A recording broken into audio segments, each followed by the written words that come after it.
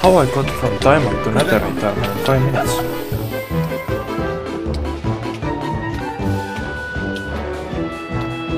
No, we lost. It's over.